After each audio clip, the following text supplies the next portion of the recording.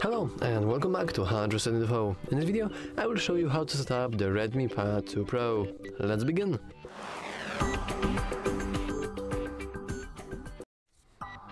So let's simply hit that arrow button and let's proceed with the setup. Now as you can see my Redmi Pad here is freshly out of the hard reset so everything should behave like it just came out of the box. I will continue with the United Kingdom English language and I will set the United Kingdom as my region as well. Now we have to agree to certain terms and conditions. So I will go into I have read everything and we can go into next. I have changed the exposure of the camera slightly, so now you should see better. Anyway, we have the setup using another device option, and with that we can keep settings, accounts and more from other phones or tablet, keeping it nearby and unlocked. And what's really cool is that with that you can just skip the entire part in setup, which I believe is very, very useful. And uh, though the only part is that you need really an older device, because usually people use this uh, when migrating from older to newer devices.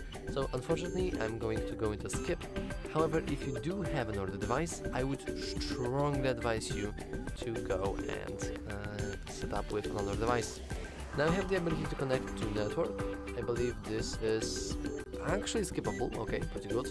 Uh, this I really, really wanted to check it out because many uh, different devices don't actually allow uh, skipping the connecting network but this should be the list for you of all nearby networks around you. I'm going to choose this one as my main network and now we want to input the passwords to it. And now let's simply go into connect. And if the password is correct, we should be able to connect to network. Now the reason I'm not skipping connecting to network is because it's really really important. Because if you skip connecting to network, you won't be able to go through the process of, for example, adding a Google account or making anything internet related really and you will have a much easier setup because it will be shorter uh, but on long term it's not really worth it. Anyway, now we are getting our tablet ready and this process may take a few minutes but as you can see it's already done. Now they're only checking my information and unfortunately we have the your device was factory reset and we can still unlock it using our previous password. Now this is very very scary especially for people who are coming uh, after a hard reset because they have forgotten that pin. Um, now there is a way to actually get past this, this is called DRM, I believe this is called DRM um, blockage or something like that and we have tons of different tutorials on how to actually skip the screen so you can watch them. Um, but I'm going to just input my previous password instead though I think I don't know I'm not sure like come for sure uh, but I think that generally speaking you want to skip this by using Google account instead though I could be wrong. Let's go into next. We now have checking info and now we have the ability to sign in into our Google account. So let's simply go into our email and phone and let's input our credentials. And by the way, as a little fun fact, you don't really actually have to input the at gmail.com every single time uh, because the only first half of your Gmail account will be good enough, unless it exists, of course. If it doesn't, then you won't be able to log in. But if the first half is correct, we can now input the password to our account. And if the password is correct, we should be able to connect to the password to the, to the Google account. Um, let me actually try again. Okay, now let me try. And that's pretty interesting because it seems that I have forgotten my password. Now, if that's the case, and this is totally okay if it happens to you, you can always go into forgot password and then you will go through maybe not complicated, but from a long process of retrieving and resetting your password. And if you have troubles with that, you can always watch our forgotten password tutorial, but I will just input the correct password now.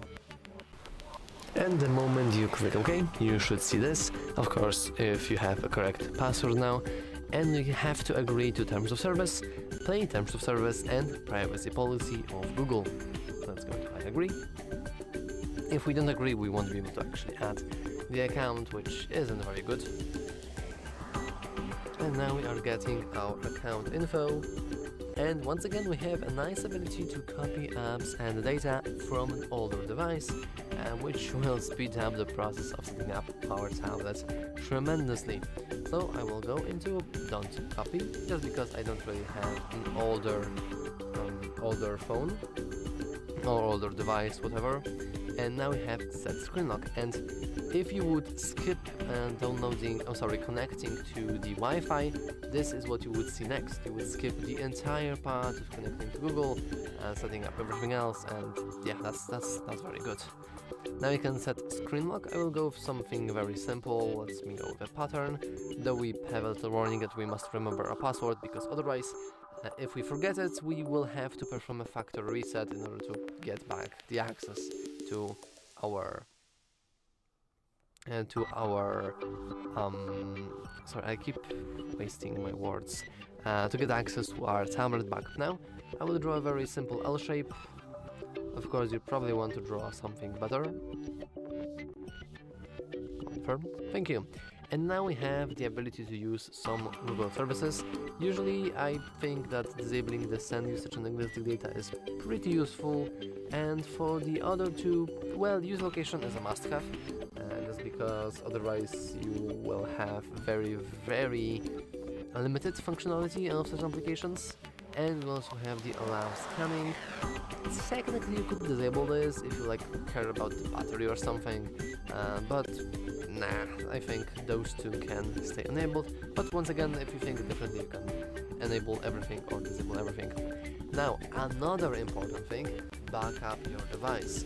I, you can't even believe, I, I can't stress enough how many people I know have just done, they do not using the backup at all and the moment they are going to lose their phone or they're going to get their phone stolen or their account is going to crash or their phone is about to get frozen to death or something like that they will lose everything on their devices. Unless they would click turn on backup and thanks to that you won't really you won't really be uh, wasting and losing anything. Now you can choose our browser and search engine so we can go to next. And I will choose select the browser. Let me go to Firefox and we can go to search engine. I'm going to go with Brave because I'm a very brave person. Now we have the ability to continue setup. I'm going to actually click continue because I want this tutorial to be like this full-on tutorial. We have the select uh, contacts nearby, find and share with you. We can go into no thanks, but once again, if you want, you can enable those features. We have the Meet Gemini, our personal assistant. Now, it's very important that if you're, uh, this is your first device in quite a while, uh, the press and hold the power button is actually uh, for Google Assistants now or like AI assistants. If you want to get into power menu, you want to go and press power button and volume up button. Anyway, we have the ability to enable the hands-free with Hey Google. Personally, I'm not a big fan of this, so I will disable this. And we have the anything else. Now, both of everything else is very, very easy to do. We have the add an email account. We simply click what email we want to add and then we input credentials, we log in, done. You can change how text displays. You have only the ability to change it between default and, Mi Sans uh, font, and the Mi Sans font has the ability to change the boldness of your font, which I believe is pretty, pretty cool. Now, let's go into no thanks. Oh, we can't set that font just yet, which is pretty funny. We can also go into change wallpaper, but we will have to only the few base wallpapers to choose from, so I'm not really that. And finally, we can review additional apps, and actually we only have few apps that are included, and everything, and every one of them is Google. I would say that almost all of them are somewhat useful. If you didn't like them, you can always uninstall them later and we can't really not agree to those, which is pretty funny. And finally we can hit finish for now. We are getting our tablet ready. And now we have some basic settings. Now this is strictly from the Xiaomi itself, it's from the Redmi itself, um, or me itself. Uh, it's not Google rated. So we have the ability to go into a location, automatic system updates. Let's disable this. Let's disable this. Turn off. Let's disable this as well. and let's disable maybe all of this. But technically you don't really have to follow me as I go along, you can always set up different things.